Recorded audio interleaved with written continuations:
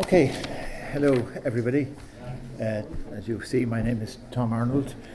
Um, we have the great pleasure today of hosting Dr. Carlos Lopes, who is the African Union High Representative on the partnership with the EU post 2020, a post he took up in July of 2018. So it's a crucial position at a crucial moment.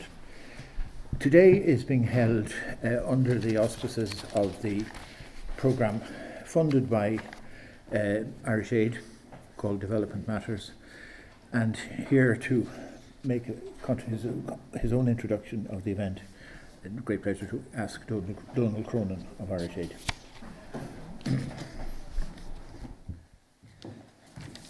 Good afternoon, everyone, and a very warm welcome to this Institute of International European Affairs seminar, uh, part of the Development Matters lecture series that we in Irish Aid uh, are very happy, more than happy to support. Uh, and thanks indeed to IIEA for your continued fruitful collaboration uh, on this. My name is Don Cronin. I'm the director of the Multilateral EU unit in the Development Cooperation in Africa division of the Department of Foreign Affairs and Trade. Before this, I was the Irish ambassador to Uganda and Rwanda. This Development Matters series uh, continues to provide stimulating thoughts and ideas on issues relating to global development and Ireland's role in that. Um, the government's new policy for international development, A Better World, sets out clearly our approach and our priorities for the coming period in terms of strengthening governance, climate action, gender equality, reduced humanitarian need, and also with a focus on reaching the furthest behind first. Today, therefore, we're more than happy to introduce Dr. Carlos Lopes, the African Union High Representative for Partnerships with Europe, and he will deliver remarks on a topic which is very close to our heart here in Ireland Can Africa claim the 21st century? Dr. Lopes was appointed as the High Representative in 2018 from uh, 12, 2012 to 2016, uh, Dr. Lopes served as the Executive Secretary of the United Nations Economic Commission for Africa. Indeed, during his tenure, he welcomed the President of Ireland, Michael D. Higgins, to UNECA in 2014. And in that same year, uh, was a guest uh, of us here as well for the African Ireland Economic Forum. Uh, so he's no stranger to Ireland, and it's great to have you back on our shores this is also a very timely time, isn't it? Because of the changes that are afoot. Uh, we've got, on the one hand, a new leadership in the European Union, an attempt to rejuvenate a true partnership between Europe and Africa, and on the other hand, reforms in the AU, the African Continental Free Trade Area, uh, the abundance of opportunities that Africa presents, and also the number of challenges that are faced in that continent, not least, for example, climate change. Uh, Dr. Lopes is a professor uh, at the Nelson Mandela School of Public Governance at the University of Cape Town in South Africa and visiting professor at the Institute of Political Studies in Paris. His most recent book, called Africa in Transformation Economic Development in the Age of Doubt, is, in the words of the former UN Secretary General Kofi Annan, a compelling rethink of traditional development models in Africa and the need to seize on transformational change to build a sustainable future for the continent. He also runs a very exciting blog called Africa Cheetah Run. If you uh, Google it, you'll find it very uh, quickly. Uh, and uh, with these few remarks, uh, can I introduce to you, please, Dr. Carlos Lopes? Thank you.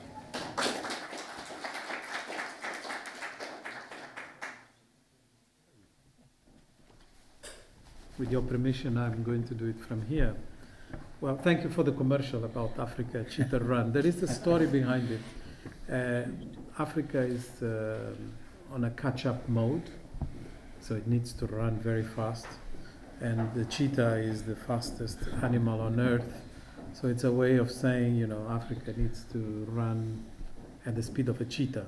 But beyond, beyond the, the, the speed, there is also another um, message that is implicit because uh, part of the, the, the ideas about uh, Africa rising that have uh, dominated some of the specialized uh, financial media, The Economist, Financial Times, etc., resulted from a report produced by McKinsey, which title was Lions on the Move. And this is a, a provocation to basically send a message that lions are about show off.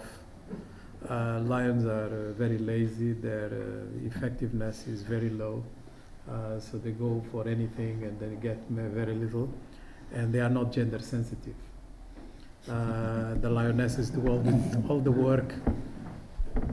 So we need completely to overhaul this idea that progress in Africa is going to be in the image of a lion, which is basically about uh, grabbing the headlines but not doing much. The cheetah is the opposite of all, all that I said about the lions. Narratives about Africa tend to be negative, as we know, uh, embedded in historical simplifications and uh, dismissiveness uh, has become quite current, including uh, in our perceptions of Africa from a geographical point of view, with the projections that are used mostly, the Mercator projection, uh, giving us uh, an idea of the landmass of the continent does not correspond to reality as we know. Uh, Africa is much bigger, and therefore it is much more important for us to try to understand the complexity because of the larger uh, than usual uh, complexity and, uh, and reality of the continent. But we also know that most of the Africa rising narrative that has resulted in some counterintuitive perceptions being uh, finally addressed uh, as limited for a large extent to business opportunities and giving the idea that in Africa we have new business opportunities and uh, more voices admitting that the possibility of an African century are based in this principle or this perception. The adoption of the UN uh, Millennium Declaration in the year 2000 and its companion, the Millennium Development Goals, has indeed inaugurated a new era. Prescriptive structural adjustment policies were replaced by goals, meaning different ways of attaining objectives or in economic jargon, policy space.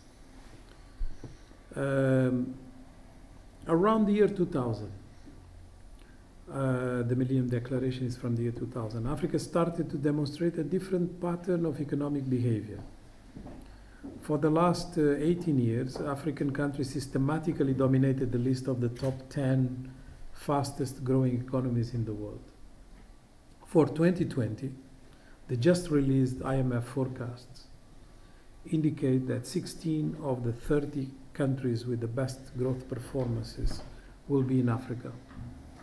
And 23 African countries will post growth of 5% or more. Economic growth resulted in Africa doubling its uh, GDP since the year 2000.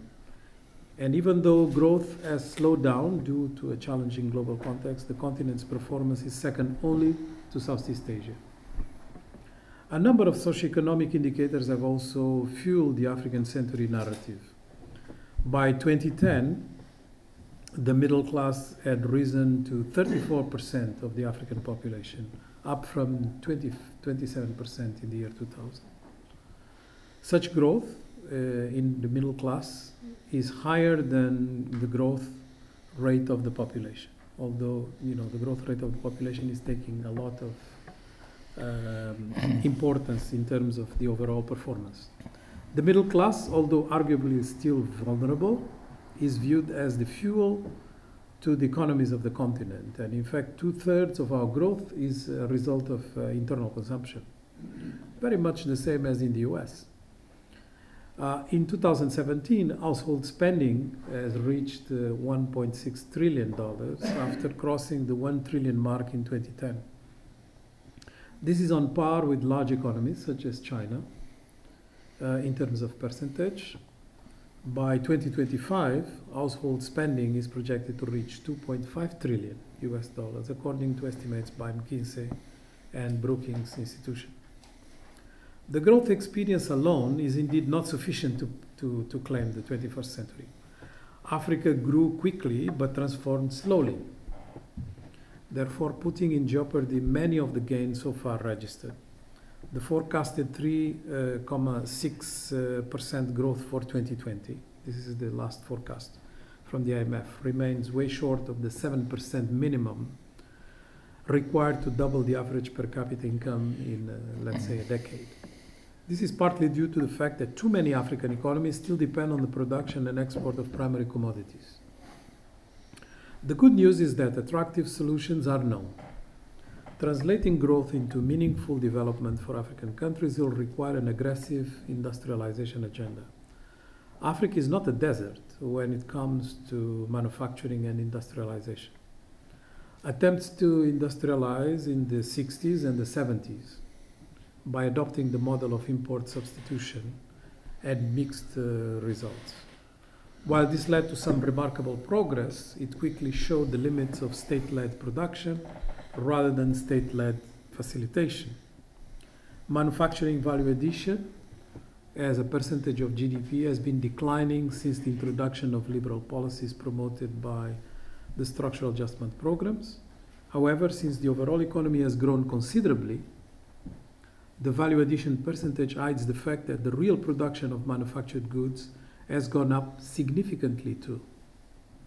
Yet, the concentration of such industrial base in a few countries and sectors demonstrate that the structural transformation is still missing in action. The quest for industrialization is not therefore over in Africa. Domestic manufacturing in Africa has doubled between 2000 and 2010, according to the African Development Bank, and continues to increase. Agro-processing, uh, Southeast Asia delocalization of low value added manufacturing, as well as commodity based industrialization, all the key for a more radical transformation. So, these three agro processing, Southeast Asia delocalization, and commodity based industrialization. For many African countries endowed with natural resources, focusing energies on exploiting and transforming that wealth can be far more promising than trying to diversify away from commodities. So basically, this is called uh, vertical diversification rather than horizontal diversification. Despite criticism of this model of industrialization, you know, increasing the productivity of commodities, largely due to the argument that it is unlikely to promote linkages. Experiences from other resource-rich countries such as Argentina, Chile, Malaysia, Thailand, Australia, Norway, and even close by uh, Scotland show that such model can deliver economic development. Examples from within Africa itself uh, demonstrate that such model can be promising in terms of developing elements of an ecosystem that promotes innovation, value addition, as well as quality employment. A case in point is what Botswana has done with the diamonds. On the other hand, agriculture represents also an important vehicle for uh, resource-based industrialization. Agriculture accounts for almost 65% of Africa's employment and 75% of its domestic trade. In addition, the agribusiness sector has already made some strides on the continent, and its potential is significant, with estimates putting its value at 1 trillion by 2030. The sector can generate significant productivity gains in rural areas, with vibrant hubs of agribusiness and linkages across value chains. To fully reach its potential, it will be important to improve land productivity. Africa's land productivity is stuck at 1.5 tons per hectare, while countries like India, land productivity has grown from 0.95 tons per hectare to 2.53 in just 50 years. This is despite the fact that agricultural land in Africa is three to six times larger than in countries like China and India, both of which, despite having much lower available agricultural land per capita, have successfully managed to secure food for their uh, poor, while Africa continues to be the world's most food insecure region. Small scale farmers will be important players in this transformation as well as the way we treat uh, different elements of the equation, such as the way we deal with farm equipment, farming techniques, fertilizer seeds, etc. Transforming African economies through a resource based industrialization will not be easy. It will require innovation, skills, robust knowledge base of the industry structure, and the global value chains uh, you know, understanding. It would also require African countries to be particularly attuned to the global trading landscape, including barriers and preferences. Above all, boosting intra-Africa trade remains imperative for creating the markets that are needed for successful uh, industrialization. The entry into force of the continental free trade area, African continental free trade area, is potentially an important game changer. Africa is since this year the largest free trade area in the world by size, with its uh, 1.3 billion consumer market, and by number of countries 54. The combined consumer and business spending is expected to hit 6.7 trillion within the next 10 years. The Economic Commission for Africa expects the African Free Trade Area to expand trade by about 52% in just uh, 20 years. Admittedly, the transition will not be without consequences, uh, at least for some time. Experiences in countries that have undergone such uh, transformations and adjustments show that there is a strong historical pat- pattern of worsening income distribution between rural and urban economies during the initial stages of uh, structural transformation, this famous uh, Kuznets curve that economists love. As the urban population in Africa is projected to double in size to eventually reach 2.3 billion in the next 40 years, it is likely that such pattern would be further accentuated by these trends. However, we also know from historical data that absolute poverty does not necessarily worsen during such episodes, therefore reducing the risk that the strides made in fighting extreme poverty in Africa over the last two decades are unlikely to be reversed. The IMF estimates that in the last two decades, poverty in Africa has been reduced from 60 to 40% of the total population. Transformation requires capital, which will need to be generated in international markets through foreign direct investments, etc. Yet Africa remains marginal as a destination for foreign investors. Such reluctance is often justified by exaggerated risk perceptions, often dominated by security and governance concerns. The turn of the century witnessed some progress in relation to political governance. Despite pockets of violence, there is consensus that the nature of politics in Africa is changing. 20 changes of leaders in the, in the last 26 months, just to give you an example. The appetite of the continent's population for political participation has increased, as demonstrated by political contestation, uh, events such as the one you have just followed in Sudan and Algeria, uh, but many more, you know, that have taken place before. Youth, particularly those residing in urban areas, operate in political spaces in similar ways to their counterparts elsewhere in the world. They have access to information, social media. In addition, conflicts have receded across the continent in terms of number of casualties, largely driven by political governance improvements across uh, the continent, as measured by the most uh, comprehensive uh, governance index, the Mo Ibrahim Governance Index.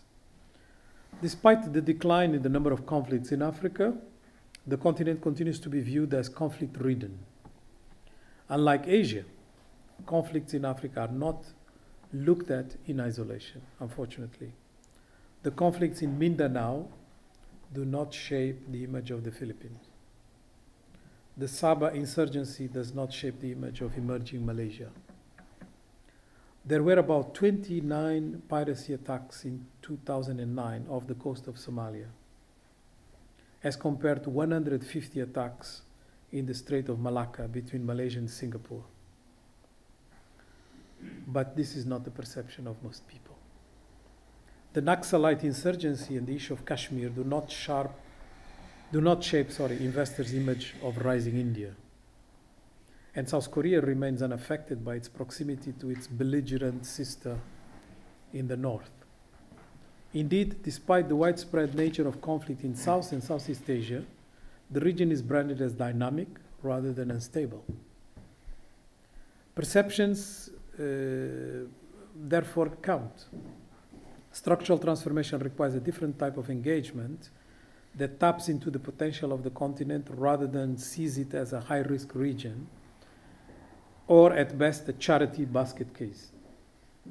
Development aid, albeit still important in specific cases, cannot single handedly transform African economies and may be a contributor to this image problem. Africa's youth can be an asset if also we take some of their agency and some of their energy as a, a, transformative element of what is happening in the continent rather than seeing it just from a conflict perspective. Reaching the full potential of the continent requires political courage to ask all international partners to look beyond their perceptions. It is time for international partners' engagement to shift from policies and frameworks driven by perception to those driven by reality and a common vision for the future.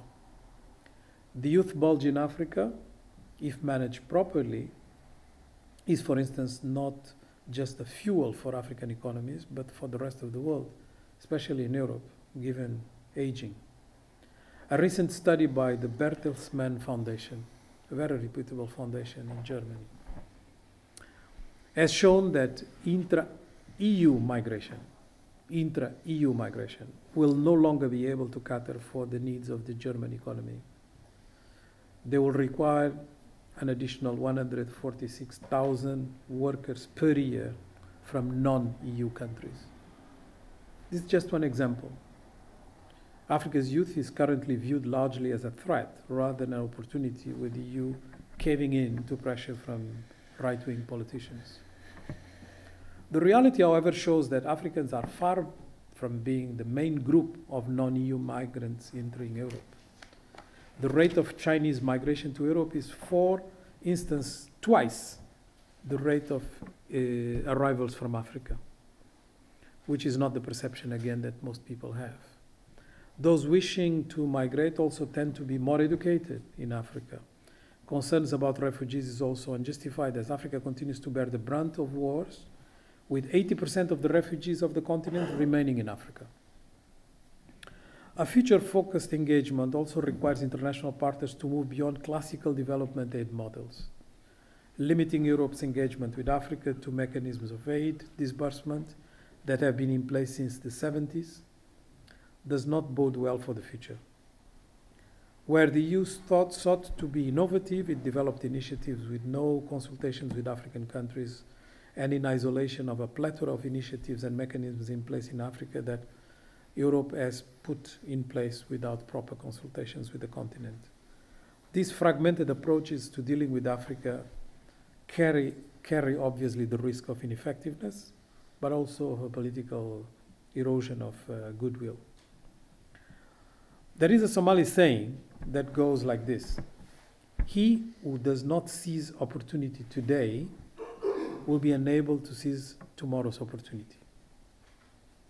For the African continent, its leaders and people, and for international partners, now is the moment to make the Africa century a reality. Thank you.